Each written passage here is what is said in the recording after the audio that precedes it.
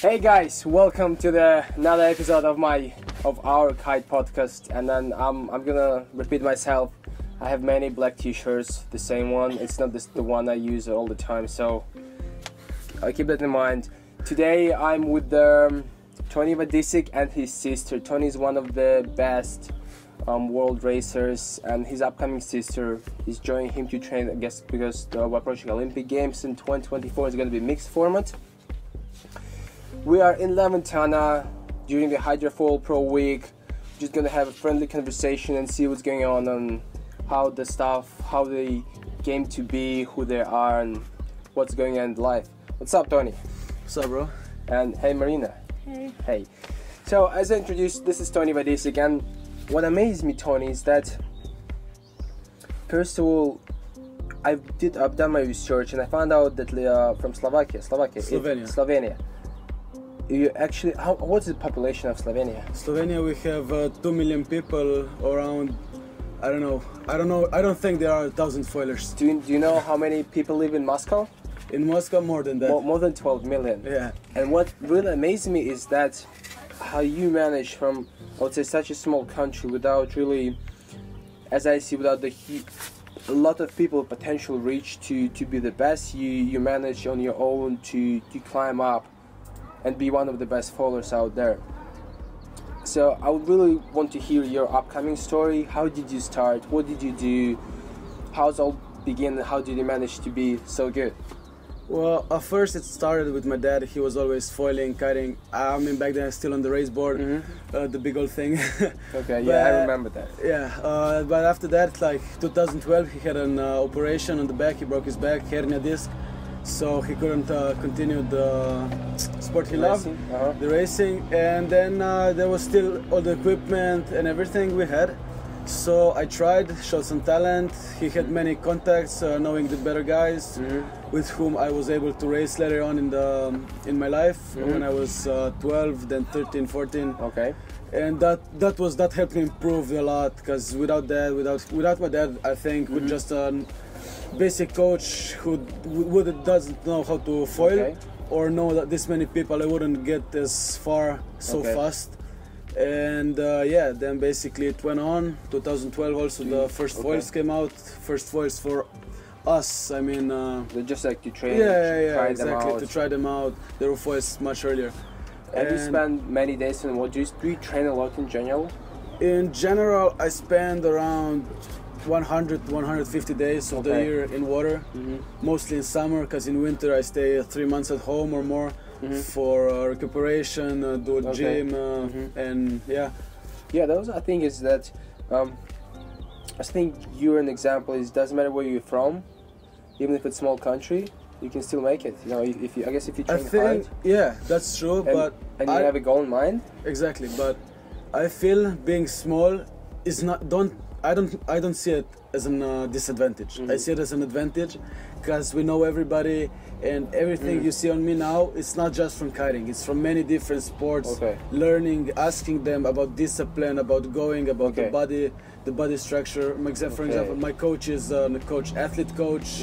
My dad is the sailing coach. So it's not everything. Mm. So it's uh, a tight connected. community that really Yeah, helps you grow from a different perspective in different sports. Exactly. Yeah.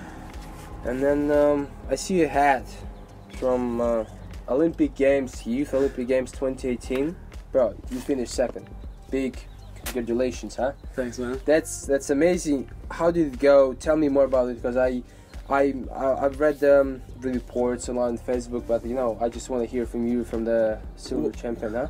Yeah, well, it was amazing and an awesome once in a lifetime experience. I was super lucky to get there. It was super hard Uh-huh. with everybody racing. It was there was a lot of kids, kids, kids 18 years old like Mm-hmm. me, a little bit younger, and you cannot under- underestimate anybody. You have to be there 100% of the time Okay. and uh, just yeah, with I and I heard- Focus. and I heard that even um, at the Twin Tip races, it was with the with the tight system of a protest.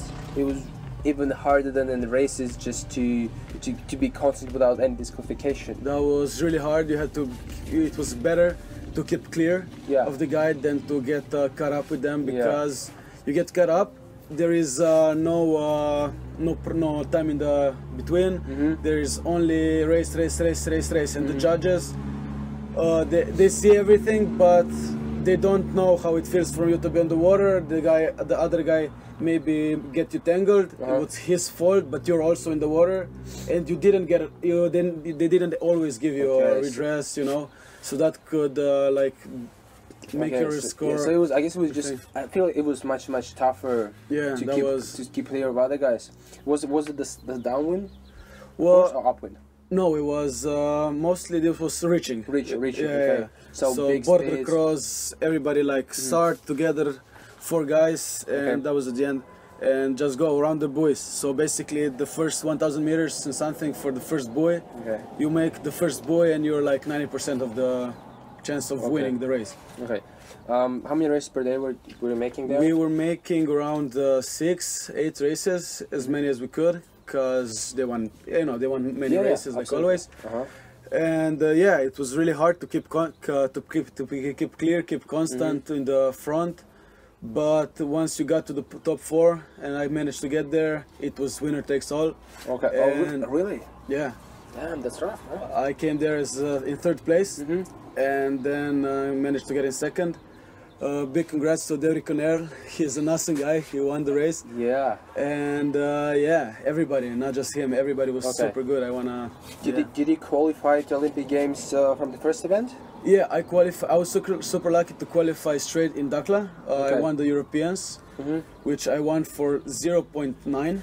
Damn, that's close. that was really close. I already the last, the, the very last uh, uh, Race, the right? very last race. Yeah, I didn't make it to the finals, Okay. so I thought I was out. I didn't even uh, go, and luckily I didn't count all the all the points, and the other guy thought he already won. Okay. So he finished second that race, Okay. and which meant uh, if he would have won the race, he would be 0.1 point in front. I don't know how exactly it came to this, Yeah. but yeah, Damn, that was close. that was really close, really stressful, and I was super happy I didn't have to go to China. That saved a lot of money, a lot of time for school. Guys, school is important. yeah. Keep keep studying. yeah. Remember that. Um, so, who who's who are- who are your sponsors? Well, my sponsors right now, I, I was super lucky to get from Ozone. Uh, thanks, guys. Uh, Mystic, and then uh, sponsors at home, uh, Jadralna Zvezda Slovenije. Okay. Uh, Zavarovalnica Triglav. Well, the guys Okay. at home will understand what this is. Yeah. Yeah, yeah, yeah. Okay. Nice. Um, also, I think And the big sponsor, Daddy. Thank you. yeah, yeah. the family is is the most Family important is thing, really right? important. Yeah. And as we're just speaking about sponsors, let's just plug your Instagrams, huh? Like it's gonna be Yeah. here. Well, what's your Instagram? I'm gonna type it here, but just tell them. Uh, Toni Vodisek, uh, Vice. Uh, what? What? I don't know. Actually, I don't yeah, know. I just we're just gonna put it here. Marina, do you want to tell yours one? Um, Marina Picabodis. Yeah, we're just gonna put it there. Marina Dad Vodisek, Marina Dad Vodisek, uh, Toni Vodisek, uh, youth uh, vice Yeah, uh, we're Olympic gonna, champion. We're gonna try to, to put it there, and, Yeah. and it's gonna be fun. That's awesome. And we are in. Um, you've been competing a lot, and uh, since I remember when I when I came to the sport, you were competing there, and you've been to this event multiple times. Hydro I've football in been Mexico. to this event, to this uh, event here in Mexico. I've been 2016. Okay. Uh, unluckily, I could. I, no, just then. oh, just then. Just then, yeah, yeah. yeah. Uh, unluckily, there was uh, it was really far, really expensive to come here. Mm-hmm. So now this is why I'm here with only my sister. We're training together, and without the parents, so Okay. it's a little bit cheaper. Uh, but yeah, Okay. 2016, and now the place hasn't changed much. Super nice wind, super nice conditions. Just to go out, there's like sand, sand everywhere. Mm-hmm. And like you just wake up in the morning, wait till like 10, 11, the wind is Okay. already here, and that's like and, Yeah. like good guys like you Yeah, and I'm Army and other guys on the water with us. That's just like this is the life, guys. La- dude, La Ventana is good. It's really, really. And then as you speak, your sister, because I think, when did you, Marina? When did you start to, to train? Um, in I started foiling like in Jitsuria in Okay. summer. Okay. Did you start on the foil or just kiting in general? No, kiting in general. I started um, since I was seven. Yeah, so it's I was 2008. Yeah. She's been kiting a long But time. like I kited like only on vacations, Okay. like maybe once or twice a year. Mhm. So And he now- was like, And now, and now I guess it's because it's Olympic Games. yeah, so And everyone needs a team because it's probably a mixed format. yeah, You're gonna be his partner in training, right? Yes. How, I'm gonna make a man out of you. how is the training so far for you? Is it how is it? How do you like the foiling? Is it is it gonna be your first races here? Are you gonna compete? I don't know yet because I haven't learned the the turns yet. Uh-huh. I just know like how to go left and down. downwind? up, Okay. up and downwind. Yeah, and um, I started like yesterday on the foil kite Okay. before I was on the Okay. pump. So slowly So getting do, there. do you generally do you enjoy foiling? yeah, I think it's Are really relaxing. I mean, I really like on the water. It's Okay. when it's like really clear. Okay, like, yeah. The the, the feel Yeah. also the feeling of just flying there. yeah, like There's no sounds, nothing. You just like you glide Yeah. above. So Marina, um, are you excited about the the future events and how how you feel about the racing in them? Yeah, I'm really excited. Um, well, we'll we will work really hard Okay. to. I like. I like that attitude one because I think this is the key. You have to work hard. Yeah. You have to push it, and you always can get it. And I think also um, for you, it's kind of just you starting out, and we've I've seen your progress in the water. It's, it's not bad. And how do you like the the switch from a tube kite to a foil kite? Well, I don't know. I'm already. I'm a little bit scared. Okay, it's okay. But- Usually, it's for every for everyone, especially in the strong wind. It can be a bit scary, Yeah. but then when you get used to it, it's kind of it's all smoothed out, and you just enjoy it, and you. It's really nice, right? Okay. Yeah. Yeah. So um, I have we have a new segment. Maybe it's not new now because we've done a couple of uh, episodes, but it's gonna be new for you guys. This is the best one. Audience, I need applause. Applause. this is a blitz questions. This is so far. It's been a big hit. Everyone loves them. The, the rules are simple. It's a blitz questions. I ask you a question, and both of you just have to uh, answer them as fast as possible. Okay. Right? There is no pun intended. Thing is just it's just fun. Because I, thought this maybe you know we need to introduce some fun stuff to the episode, you know, to smooth out and make it fun. So the first one, uh, actually, it's gonna be for Toni. Because Toni, you know, you you, I know you like cheese. What's the best type of cheese? Parmesan. Parmesan. Easy. Okay, okay. Uh, guys, do you want to start a cult? A cult? What's that? Cult is like you know, it's like a group of people who believes in one thing and just want to do all this and like destroy everyone else. But we already did this. This is the cat community. We believe in kiting. Oh, okay, okay, okay, okay. Do you like do you like pineapple on pizza? No. No. Okay. But Gordon Gordon Ramsay would be disappointed. Yeah, actually, I like it. I like like in Hawaiian pizza, but it's ham. I think this is over. okay. Um, if peanut butter wasn't called peanut butter, what would be called?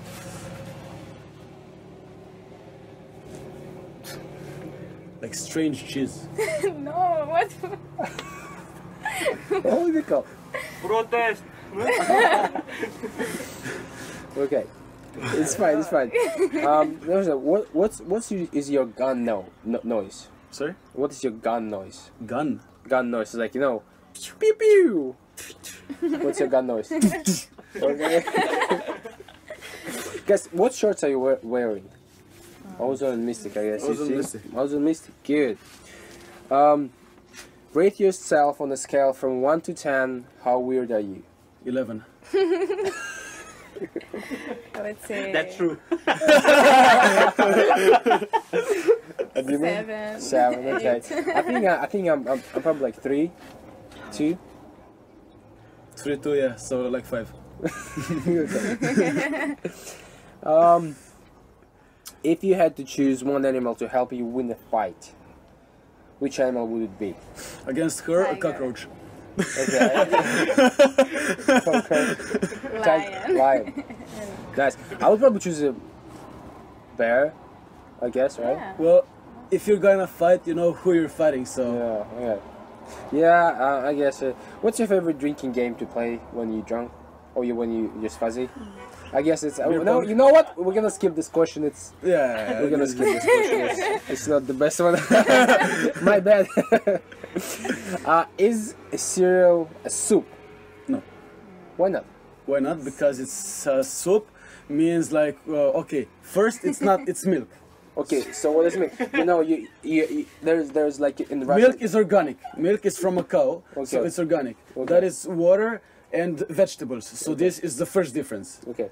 Well, but do you know like let's say let's say let's say uh, if it's a salmon soup with the cream cream soup, they use milk. They use less milk. So is cereal a soup? I don't know. I I never been asked this before. What was last furry thing you touch? What That's- furry? Fur, fur, yeah, fur is like a fur. Like a dog? Your yeah, leg. yeah, yeah, yeah, used to. Yeah, I, I My touched the dog You touched the dog. Okay. Pepsi or Coke? Coke. Neither. I drink water. Okay. How are M&Ms are made? Sorry? How are M&Ms are made?